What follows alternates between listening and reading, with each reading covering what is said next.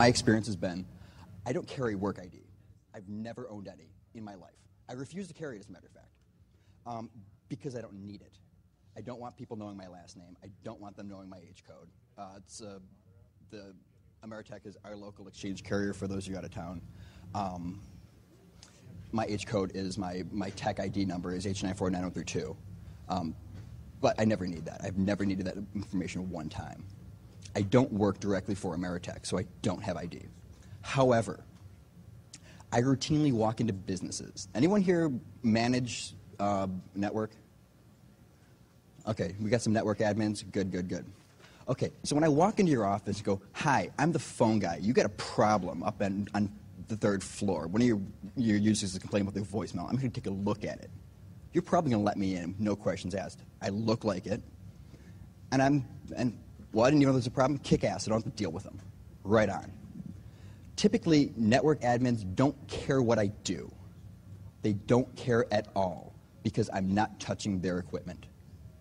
Or I'm fixing their equipment. Um, if you have an Adtran uh, TA850, it breaks out a T1 into, into like distinct uh, 64K channels. I configure those. It's just a boring piece of white box on the wall. But nobody IDs you. Nobody ever asks for ID from the phone guy. Why not? Because people are stupid. Okay, two weeks ago, um, I got this haircut new. And I got this haircut not for the conference, like I should be telling people because I seem like the, the loyal, helpful son of a gun that I am. But actually, I got the lose the hair, lose your job speech. And the, the telecom market in Detroit is so incredibly tight. I said, you know, I'll have to get a haircut for an interview anyway, so yeah, I'll just get it and keep a paycheck until I get a better paycheck. And so that's, that's the story behind the haircut. But I was walking in with hair down to here, and I shave about twice a week. I need to shave about three times a week, but I'm a pushy bastard. Um, yeah, so simply, you know, pretty much I have no real accountability because I'm in such an obscure channel of the, of the industry that nobody can fire me. And I work really, really cheap. Yeah, I do. Um, I'm 65% of what the, the uh, ILEC charges. And I work twice as well because, well, I'm not smoking crack. I look like it, but I'm not. Um, if you've seen a lot of Ameritech or Verizon or AT&T or MCI or any um, IRC employees, they pretty much dress like this. Um, we got the climbing boots, we got the, we got the belt, we got a shirt. Sometimes we're wearing ID, sometimes we're not. Um, Ameritech is the only one I can speak intelligently on. Their, their company policy is you either wear a work shirt or you wear an ID, but you don't have to wear both. I don't know why but that's like standard policy. If you're wearing the shirt, you don't have to have ID on you because there's no mag stripes. And if you have a mag stripe uh, for like a CO, yeah, you, you carry it or you're just a dumbass. But again, this is Ameritech, and they are. Um, we look shady.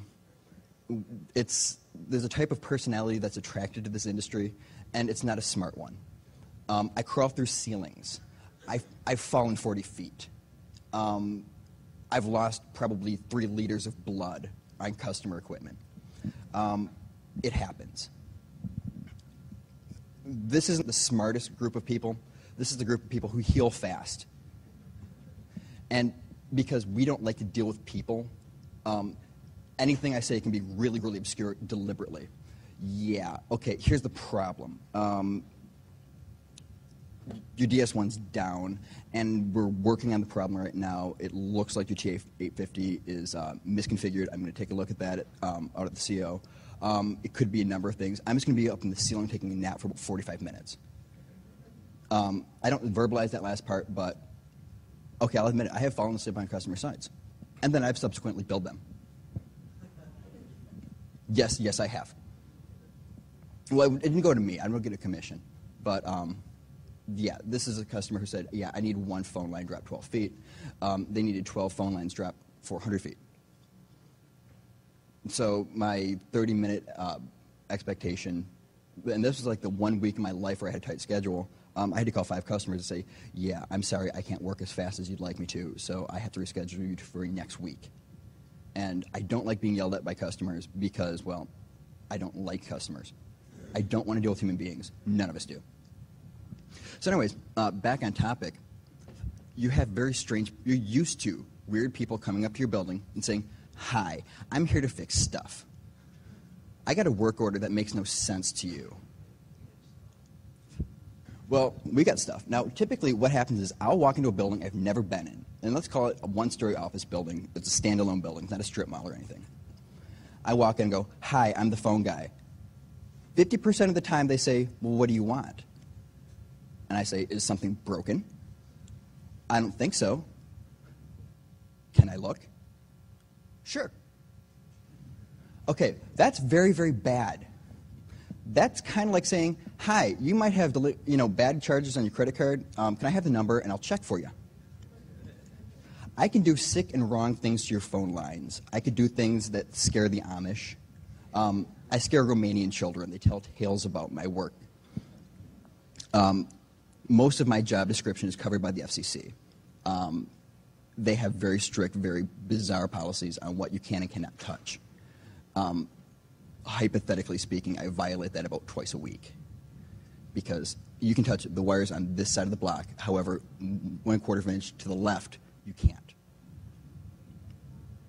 Well, if I see the physical problem, I'm not waiting three weeks for HICAP to provision someone out to move a wire. I'm simply just going to fix it because, well, not because I'm diligent, not because I'm thorough. It's because I don't want to have to come back. So now that you know who you're talking to, when the Ameritech guy comes to, or whoever your local phone company is, um, when they come in and they say, Hi, I'm here to fix stuff, first of all, ask them what. Then verify if it's broken. Um, a lot of times, um, I, I have gone in places where they have installed the wrong type of circuit, the circuit to the wrong building. I once had one where they left, left the line. Somehow the order actually got passed through and, and completed you know those little green boxes on the side of your lawn that you have to use the weed whacker to cut the grass around, the cross connect cans? It was three cans away, but it was a completed order. That's common. Now, in that case, it's completely against the law for me to touch it, and I like it that way because I don't have to figure out where the hell they are.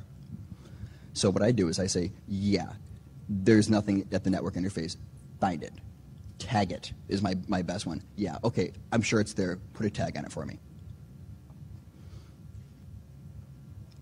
And eventually they bring it in the building and claim it was there all the time, and well, my shit's there and it's all good. Number two, ask for ID. You'd be amazed how many places I have. I've been doing my job for four years. I have got three locations, three locations that consistently ask me for identification. One of them is an actually secured site. Um, they do record and data storage. They require me to give them my driver's license. They compare it to me. Um, they give me a visitor badge that requires escort. Uh, they never ask me to be escorted, but you know the badge thinks it is, so it's all good. Um, the other two are one of them is a building downtown Detroit. Um, they don't read the log, so they make me sign in no identification because they see the tool belt and they know I'm a contractor, so they want the ID. I have signed it in as Jesus Christ. I was going to do Emmanuel Goldstein, but I couldn't spell it. Um, I have signed in as a lot of things. Um, Dan K. Jesus Christ was, of course, my favorite. And that was like the first time I did it really, really strangely. Because I thought they've never checked the, the name. They say, write it on the clipboard and go. Um, there's actually several columns. It's you know your name, uh, the customer name that you're visiting, the suite number, and the time in and out. I never sign out ever. I'm going back to my truck. I'll be right back, like five minutes. I'm gone. I just don't want to. I'm just being contrary and petty, and well, I can. But they don't realize it because they don't read the freaking logs. Um, it's just when they get to the full page, they flip the page. If there's ever a problem on the 22nd, they say who signed in on the 22nd they don't I don't put down the date. Now they can look at the one before and after and kind of deduce that you know, this jackass was there on the 22nd, but they don't know who I am. Um, I don't put my company name when they you know sweet number. I say all because they deserve to be messed with because they're stupid. Don't have security policies unless you actually even try to enforce them. I mean, they're great for like you with the belt, sign in. But they, it, the, the belt is the board is actually from about me to Jason Scott from them. Now, unless they've got like like X-ray eyes, nothing ever is seen, and they don't read it. It's all good. The third one um, actually is the weirdest little spot in the, in the world. It's um, like Nine Mile in Greenfield. Um, the security guard there is about 400 years old, and he doesn't like anybody, um, but he's not very smart. See, that's really the bad side. It's like he's really great about like stopping people from what he thinks they're supposed to not do, but if they're allowed to do it, he won't let them do it either. Um, the customer has a uh, an ILEC, and the ILEC will not you know wire to wire to prem. They only wire to existing RJ21X, which is the 66 block. And what happens is they bring the dial tone and they sometimes even tag it for this is the, the, the demarcation point for the entire building. Of like uh, anyone who's from around here, it's the Guardian building at 90 Greenfield. Um, the security guard is an idiot, and he will not let you into that room unless you have ID. I say, but I don't have any. Yes, you do. No, I don't. Why not? Because I don't. I'm like, here's my business card, my company name. Here's my driver's license with my name that matches this business card. I thought I was, you know, going to get in at this point. And he looks at it and he can tell I'm up to something, but he doesn't quite know what. So he gets really irritated that he can't figure out what my scheme is. So he just says, no. Gives me my stuff back. No, you can't come in. Okay. So I, I actually had to have the customer call and confirm, yeah, uh, tall, skinny white guy, really weird, let him in. Um, okay, that's fine. I don't mind. It was a little bit irritating. Like, how dare you deny me access? I was just in a bank. The bank didn't know me. I'm dead serious. I could give you bank names of who has never questioned me. Hi, I'm the phone guy. Um, you having some kind of problem with your voicemail? I don't even know what. Yeah, yeah, the voicemail is acting weird. Okay, what's, the, what's it actually doing? Okay, they've now let me in the building. This is even social engineering. This is just like a casual lie. Hi, I'm the phone guy. I could do very bad things to your phone lines. And I'm not talking about I can come in, I can put my butt set on your phone line, and I could call like Ecuador and laugh because ha ha ha, I'm pranking some schmo in Ecuador ordering a pizza. Hi, is this Ecuador? Can you see the equator? No, see, that's lame. I, I could do much better things. I can move your phone line to my house. I can move your phone line to my house, and I can call Ecuador in my underwear anytime I want, as often as I want, for as long as I want. And then all I have to do is remove a pair of jump wire when I think, okay, they're going to get their phone bill probably like tomorrow. I should probably like destroy any freaking evidence that this line's in my house before I go to fucking prison. Because that is, by the way, a federal offense. If you ever consider doing it, you're going to become somebody's bitch. Because, you know, the murderers and rapists do not respect a stole a phone call. If you're not somebody's bitch, you ought to be, just for saying that lie about what you're in prison for if it's for phone fraud. I, I beseech you. Yes, ask for identification. And then, even if you get it, verify it if they look, if they look shady. Or if they just piss you off. Because a lot of times, now, okay, when I go to a customer, I pretend like I care about their problem. I give them 90 seconds to care. Hi, Mr. Smith. Um, how you doing today? My name's Dan. I'm the phone guy. Um, I understand you have a problem with your voicemail. If you can go into a little bit of what's going on, I'd be happy to take a look at it for you. Okay, that's like 20 seconds. Then they talk. They tell me what the actual problem is. Um, by the end, they actually tell me what's really going on versus what they imagine and, and are sure is the problem. Um, typically, the data network is down because um, their Ameritech voicemail is acting funny. Um, yeah, these are the two things I have the least about each other, and I do get that a lot. Um, any people working in the, in the uh, data maintenance understand that customers they need you for a reason because they don't know what they're talking about. And that's cool. I'm down with that. I, I prefer customers not knowing what I do for a living because it keeps me employed. If everyone knew how to do my job, I would be flipping burgers right now. This would be like BurgerCom because I have that kind of power. Yeah. Okay, but a lot of times, um, um, I kind of have a problem with Ameritech technicians. I know about three that I really respect. Um, I know about 40. And the problem is, is that most of them are idiots. Um, they have really poor training, and that's, that's company, unfortunately. It's not the people's fault that the company won't train them. They pretty much say, yeah, we gave you like a week's worth of training on you know, standard, you know, nothing's weird in this equation uh, situations. Figure it out. Well, okay, I'm not supposed to repair D- DS1s. Well, figure it out. It's just, you know, 20, it's just jump wire. Figure it. Fix it. Make it work. Um, that happens a lot. A lot of, time, of, of problems that you'll suddenly have, there was nothing wrong, um, but your entire neighborhood doesn't have a phone line, and there was no backhoe in the area, is that somebody didn't know you can't cut the wires. Or Paul Timmons, in fact, did get a squirrel in a jar of peanut butter in a cross connect box. Anyone who knows Paul understands that joke. He, he's never done it to my knowledge, but he threatened to do it to me once, and I almost wet myself laughing because it was just so damn funny. Well, because he can figure out where my cross connect is. I mean, I know where it is. I actually found it before I found my, my apartment where I'm living now. I'm like, oh, there's my CO. I live three blocks from the CO. It's on a corner. You can't miss it. I give it as a landmark. Okay, you go down when you when you get to Mac. There's a, Ameritech building on your left, on your right. Turn left. And um, well, all my friends are phone geeks, so they're like, "What silly code is that?" I'm proud to say I don't know. it makes me feel good about myself that I don't know something that useless. Um, but yeah, most I refer to Ameritech technicians as pretty much meat things, meat bags, and train chimps. Now, that's not accurate because, well, you can train chimps to do a better job. Their verbal skills will be lacking, I admit. They'll be on par with Ameritech. There'll be even distribution at that point. However, they would be able to crawl rafters quicker, easier, without complaining. And they'd be more pleasant, and they only throw half as much feces. I have had to clean up more Ameritech nonsense messes just because they don't know what the hell they're doing than I care to, to admit to. Um, and it happens. You know, I make mistakes. I'm a human being.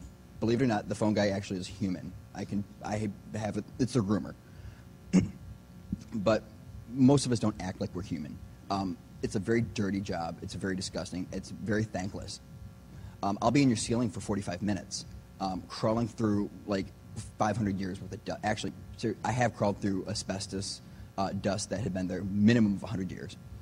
Um, Detroit houses the third largest number of pre-depression buildings in the United States. I'm in their crawl spaces. There's a reason why I weigh 165 pounds and I'm six foot tall.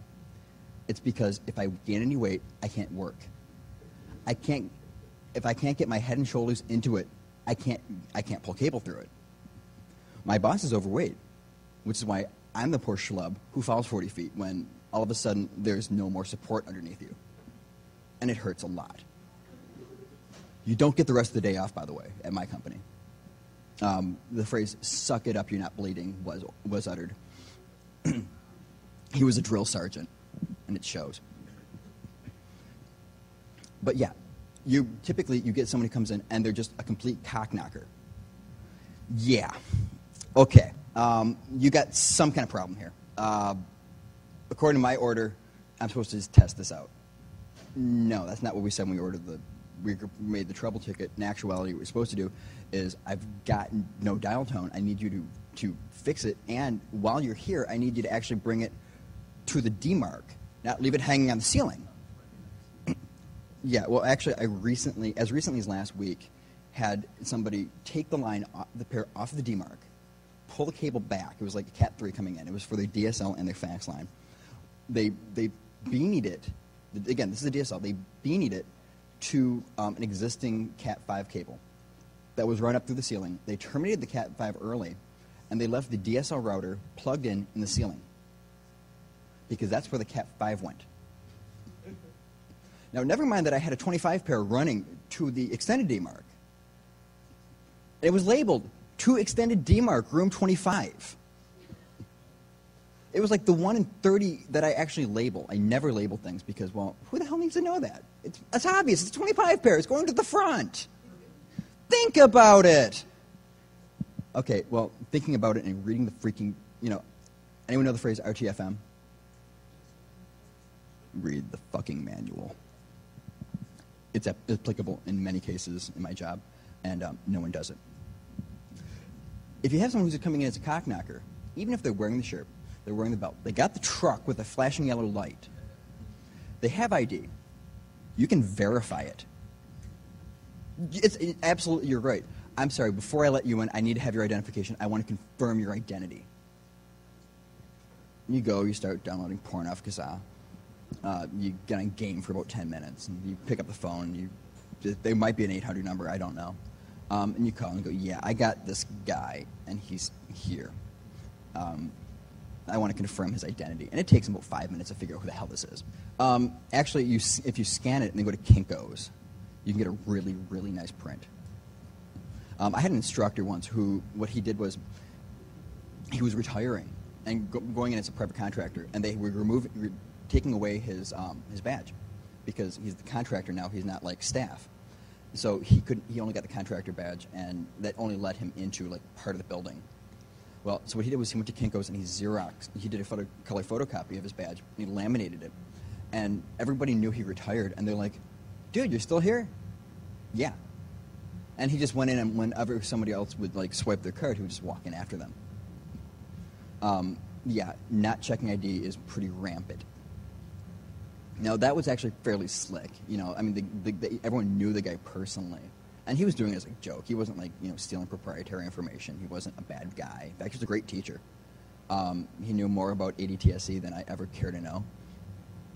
Um, but yeah, check an ID, and you're allowed to make their lives hell. It is your God-given right to make their lives a nightmarish, living, breathing hell, because you're the customer and they do it to me every day. And you should.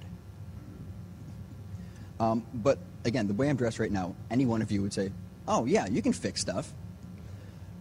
and once you're in the building, see, the phone guy doesn't exist. I don't have a name, I don't have an identity. I'm, I'm the phone guy. I haven't had privilege of person in four years. Which is nice because I like the anonymity. I like being the shadowy man who just fi- ma- magically fixes stuff. I refer to um, my repairs in my paperwork as FM. Anyone know the phrase FM? Y- yes, exactly. It's fucking magic.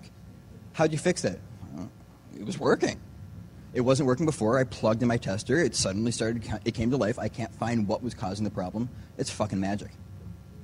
Now, with the customer, you make up what happened. You're like, you know, I'm not 100% sure. I think it was like a loose wire um, at the DMARC. I, I just re-terminated. Um, that probably will clear up. It might not. You might have a secondary issue. Um, if you do, give us a call. We'll be happy to come back out again, if, see if we can recreate the problem. Um, at this point, I can't recreate it, so I'm assuming that was the only problem. Yeah, it's freaking magic. Um, $65 an hour for me to plug in a tester. Minimum of one hour if you live far, far away from my, my apartment is, we charge you for the, the mileage because, well, I'm far, far away and my boss whines, why did it take you two hours to get there? Because it's two and a half hours away and I drove really effing fast. Well, don't get a ticket, but get there faster. Did I mention he's insane? Yes. I digress. Um, I've been let into vaults I actually only wanted to go into the vault to see if they would let me in. Now, this bank knew me. I admit that that was cheating. They knew who I was. uh, my office is across the street from this location, um, and I had been doing there for three years. But I'm like, you know, I think you got some cable running to the vault, and I think that's the problem with your voicemail. Um, so I need to get in there. Would that be cool? I mean, I understand if you don't, but um, there's not much I can do if you don't. So um, yeah, pretty much. Because um, I'm not running new cable through that through that freaking vault because it's it's fire stopped on both ends, and you probably can't even see it. It's probably actually behind the blast wall. Um, and customers don't know what the hell you're talking about, so you can make up things like a blast wall. and it's good. It's all good. Um, I do not condone anyone doing this illegally, by the way. Um, you will go to jail when you're caught for being an idiot. Um, and if you are, don't mention my name. Um, again, I do. I only do this because this is my job. This is what I do for a living, and I'm just having a little bit of fun with them. I'm let into secure sites, um, confidential record storage. Um, they have no problem with me, you know, walking around completely unescorted. My hair was down to here, and I looked like I was smoking dope all morning. Um, sure, go on to the record room. It's all good. Uh, let's see, who else let me in? Um, one time, I was trying to configure a voice over IP um, facet for a fairly large, well, fairly large copy manufacturer. They make photocopies, and it wasn't Xerox. And their T1, they couldn't do the voice over IP over th- this dedicated circuit. And so I'm configuring it, and I said, okay, here's what I need. Um, I need you to give me your server password and username. I need your admin account because it will not take changes as a guest. I can't make this configuration. And it, was true. So, without question, I'd never met this guy. I still had yet to meet him. Um, he was at the other location. He's like, well, I can just tell that and, and log it in. I'm like, well, I have to keep rebooting the machine every time I make an attempt. And I predict about 12 because I don't know what the hell I'm doing, basically. You know, you've got this third party application you want me to configure. You bought it. I don't know it. You don't have a tech for it. I'm the best you got. Um, okay, well, this is my password. He says, I mean, I can just change it after you leave, right? Yes. Yes, you can. Now, I admit I did not backdoor it. I thought about it. I stood there with the, my fingers poised over the keyboard, thinking, do I really want to own someplace who sells like multi thousand dollar copiers? I don't really have anything I need to copy, though. Um, I'm not about greed. I'm really not. I'm very strange. I'm not financially oriented, which is why I'm poor. But you know, I'm cool with it. My creditors are pretty pissed, but but fuck them. Um, it- but it's all good. But I do things because I'm curious. I like to explore. Um, I love these buildings that are 100 years old because like it's you get this glorious architecture that's been like covered up by like a false ceiling. You know, you get to see this like this beautiful like stone arch. You know, that's like, dude, you should gut your your building and like paint it, seal, water seal this. This is godlike. No, the ceiling looks nice. I. Yes, we do use that word in this industry. I is in fact a, an affirmative response. Jason, are you awake? Like, I know you can sleep with your eyes open. I've seen it before. It's glorious. Yeah. Don't give the phone guy your server password. You deserve every bad thing he does to you if you do it. I promise you. I only know one tech. I only know, personally know one technician that I would trust with my voice and data applications at the same time if for voice over IP. And it's not Paul Timmons. Paul's my boy, but he doesn't configure Cisco every stinking day. Ben, ben Mason is the only person I would trust for telephony and for data. Um, and I wouldn't trust me, quite frankly, because I'm a butcher. Um, I do bad things to, to computers. I admit it. Um, I'm a phreaker who hacks, not a hacker who phreaks. But, you know, to each his own. Um, but the reality is, is that the phone guy is untrained at all. Anyone here have DSL? All right. When they installed your DSL, did they seem like the village idiot? Did they seem to identify what a computer was, or did they actually have a written checklist of what to do step by step? Like the, the complete and utter idiot's guide to installing a DSL line. Bring in phone number. Put on jack. Put on filters. Plug in unit. Power on. Do loopback test. I have I have seen the I've seen a lot of like bizarre DSL things. Um, typically, it's the we have this DSL line. It's also our fax machine, and it's not filtered. And you have problems, you say. Have you tried a DSL filter? Yeah, but um, it kept falling out of the wall. And I care why. Buy a new one. Buy a better one. Buy the master one. Buy the one that's 25 bucks. I don't care. It's not my money. Anyone ever not hear somebody in an office someplace where you wanted to beat them to death because they said, quote, the internet is down? that is such a common expression, and it's most of the time it's not like joking. Now, when a text says, "Oh shit, the entire internet's down," millions and millions of computers all went down at the same moment, along with switches and, and, and routers. The damnedest thing. What were the odds? Okay, now that's, that's a great joke the first time. But offices, it's, routine for the network to be down for whatever reason. Um, we're, we're upgrading the switch. Um, we're going to a gigabit switch. Um, you're going to be down for like five minutes. There's, there's a lot of downages for, for data. It's just, and I think part of it is because the users really don't understand the technology, so it's okay. They don't understand why it works. They don't understand how it works. They don't even understand that it works. They just know that I type in my thing on my keyboard and I hit enter, and then they pay me for it. That's it. That's all the user has to know, and I'm cool with that. However, the telephone's been around since the 1800s. Everybody grew up with the telephone being a real tangible item. Now, in 1968, you actually were allowed to put, you know, third-party applications onto your telephone line, like a fax machine. Um, that which then led to the divestiture, which I will pleasantly, pleasantly spare you. Um, I could actually go on about the divestiture and the Seven Baby Bells at length, but I won't. Merry Christmas. Um, where the hell was I going with that? No matter. All right. Because you you can uh, put any damn thing you want in the phone line, you should. However, you shouldn't let necessarily let the village idiot install it. Um, I actually turned down a cable service because their technician was too stupid. I couldn't talk him over through it over the phone. They called me at work. I'm installing like somebody's LAN. I'm on my Nextel, and I'm explaining to him where my switch is. I'm explaining to him that I currently have Comcast. I describe what the Comcast box looks like. I'm like, it's the one that says Comcast.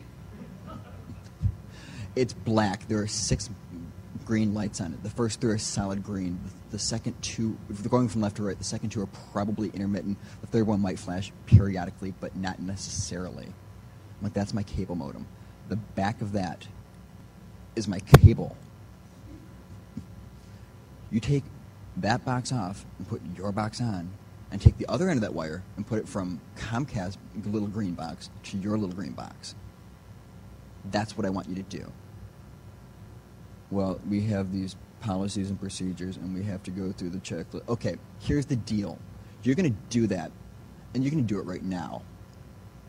Well, we have these. Pol- one of the policies was the switch had, the, router had to be in the same room as a computer. Well, I didn't have a computer in my living room. I'm sorry to say. When I, I had to call Wide Open West, I shouldn't uh, give them an anti-plug like this, but the hell with them. Um, I called them back. I said, okay, here's what I need you to do. I need you to send me somebody who's heard of, I don't even care if they have certifications. I want someone who's heard of BICSI standards. BICSI is, um, do you know what the IEEE is? Um, okay. It's like the phone guy version of that. It's, they have their own independent, incredibly expensive to test out um, certifications that says, yes, I can wire stuff. I have two BICSI points. I'm an Allentel certified uh, Cat 5e installer. I can punch down a wire onto a jack. I didn't actually have to show up for the training. It was held at Graybar. I showed up um, for lunch and to pick up some Cat 5. And I showed up at the end, and he's like, How'd you like the lecture? I'm like, It was good. What's your name? I told him. And I had a little piece of paper. I framed it. It's in my office.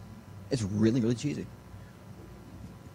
Uh, it's next to my Brainbench certification, which my boss was impressed with. Going back to he's insane. Yeah. Um, for the most part, when you do voice over IP, you have two people. You have the telephony guy, a guy like me, who hopefully has heard of a computer and possibly even touched one once. And then you have the data guy, who can tell you what your, what your subnet mask is while drunk, blindfolded, and being beaten with batons. He can like calculate bizarre equations, like mystically. I have the greatest respect for data guys because I don't understand half of it. I mean, I understand the protocols, I understand the amount of electricity. I can run your cable, but I don't understand what you're doing anything beyond like, um, well, pretty much anything that involves like more than like three seconds worth of intelligent thought. If I have the epiphany in the shower of, holy crap, I got to put the card in the machine. Okay, cool. Um, beyond that, no. No. I shouldn't configure your network, and I routinely do it. It's just because everyone else there is stupid, or stupider than I am, which, you know, is not hard to do. Um, I'm not the dumbest person in the world. I'm sure by far not the smartest. But, okay, you have these two groups of people, and they don't like each other. It, typically, uh, data people have no respect for the phone guy because, dude, you're doing analog tip and ring. You are so freaking lame. Yeah, why don't you go climb a pole, tough guy? And then uh, the, the telephony people typically look at the data guy as like, you know, this arrogant little 22 year old snot who has no idea what the hell he's talking about. Because, well, we typically have no idea what the hell he's talking about, so obviously it's not our fault. Damn it, we're the phone guy. We are gods. Okay, now these two people have to configure the same piece of equipment to work. That's why voice over IP doesn't work. Or why, that's why everyone doesn't have voice over IP in their house. Is because people who hate each other have to have lunch and talk about what the hell they're doing. And even if you get it installed somewhat, something goes wrong eventually. Everything goes wrong eventually. It's the law of the universe. You can have like the world's greatest switch, the world's best fiber optic connection, and sooner or later a squirrel is going to chew through your D1, DS1. Why? Because that would suck. But it happens. In that case, it's no big deal. Okay, well, we don't have lights and green lights in the smart jack. Eh, call a phone company, make them fix it. When your internal communications don't work, what happens is, okay, I'm actually certified to install um, the Norstar, Nortel uh, BCM, the Business Communication Manager. It's the world's worst IP telephony system on the planet. You know it well. I'm the, I'm the only, I'm like the only non-Ameritech guy in the state who's certified to do it. And it doesn't work. I mean, it does, kinda. Like, um, hey baby, come here often, kinda works. If she's got brain problems, but not usually. So what happens is, okay, so my my quality of stand, I get a lot of like um, latency issues, and you start getting um, echo. You know, okay, so you have to you know apply echo cancellation. You got to like you know tweak your, your your quality of service standards. No big deal. Well, the problem is somebody says I paid a metric ass load trademark of money for this system. Why is it broken? Well, whoever they ask blames the other guy. Well, you know, my my smack was set. You know, and then he came in and changed it. Now, he came in and changed it because it doesn't work in the default settings. So what happens is, okay, I do my stuff, I do it textbook. You come in, you're like, okay, this doesn't work. Okay, I know if I change his setting to this, okay, I use a different uh, compression ratio, it's all good. Something goes wrong, it's all finger pointing. Um, that's why I'm one of the few people who can play with the phone and a computer at the same time. There's like 10 of us. We're all this lame, by the way. Yeah. Um, any questions, comments, Rotten Tomatoes?